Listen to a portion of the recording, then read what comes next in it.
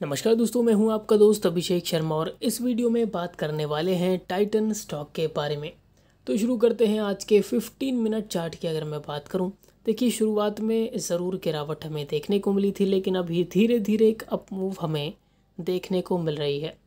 Three hour chart की मैं बात करूँ तो यहाँ पर आप देखेंगे स्टॉक फिर से रिकवरी करने की कोशिश कर रहा है। नीचे की तरफ़ एक सपोर्ट बरकरार है, पच्चीस सौ का। तो इस सपोर्ट पर भी बिल्कुल नज़रें बनाकर आपको चलना है। अगर ये सपोर्ट फिर से देखिए टूटता है तो और निचले लेवल्स देखने को हमें मिल सकते हैं। तो सपोर्ट्स का ध्यान रखें, स्टॉप लॉसेस ज़रूर लगाकर आपको चलना है।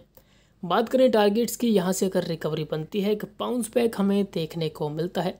तो आने वाले कुछ ट्रेडिंग सेशंस में टारगेट रहने वाले हैं। छब्बीस सौ पचास, सत्ताईस सौ रुपये तक के टारगेट जल्द ही हमें अचीव होते हुए नज़र आएँगे। अगर यही तेज़ी बरकरार रहती है। क्या यहाँ पर बाइंग करें या नहीं, देखिए, अभी भी आपको वेट एंड वॉच की ही स्ट्रेटजी आपको अपनानी है टाइटन स्टॉक में। जैसे ही बाइंग का शानदार मौका बनता है, हम एक वीडियो ज़रूर बनाएँगे। लेकिन आपके पोर्टफोलियो में टाइटन होल्ड है कंटिन्यू होल्ड करें, बिल्कुल भी सेल ना करें तो यही स्ट्रेटजी आपको अपनानी है। बात करें टारगेट्स की, अगर यही तेज़ी बरकरार रहती है तो ऊपर की तरफ़ आने वाले कुछ ट्रेडिंग सेशंस के लिए टारगेट रहने वाले हैं। छब्बीस सौ पचास, सत्ताईस सौ रुपये तक के टारगेट भी स्टॉक अचीव कर सकता है। तो यही स्ट्रेटजी हमें अपनानी है। आप चाहें तो अपनी खुद की एनालिसिस खुद की रिसर्च ज़रूर करके चल सकते हैं।